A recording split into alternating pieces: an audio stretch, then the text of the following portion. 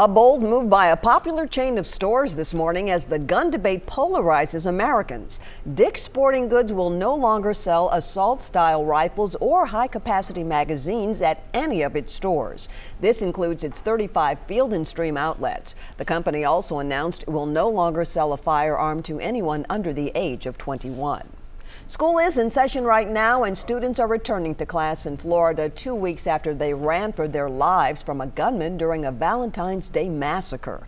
17 people died in Lakeland that day. This morning, 400 law enforcement officers from around the state provided support and security while parents dropped their children off. The teenage suspect confessed to the murders and told investigators he had no issues getting ammo or weapons.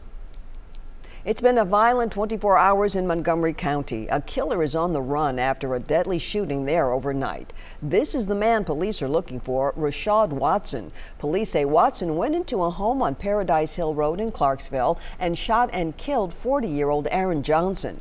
Police believe Watson may now be with Chrissy Huntley Johnson. She is not a suspect, but police are concerned for her safety. If you see Watson, call police immediately.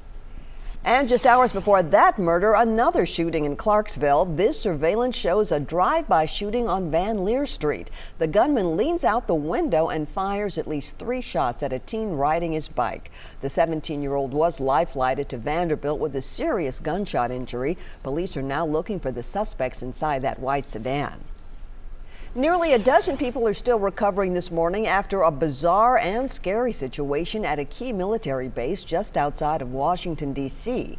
Eleven people came into contact with a letter containing an unknown chemical. This happened at Joint Base Myer Henderson Hall in Arlington, Virginia yesterday. Three people had to be taken to the hospital for treatment. Police are continuing their investigating with the help of local hazmat teams, NCIS, and the FBI.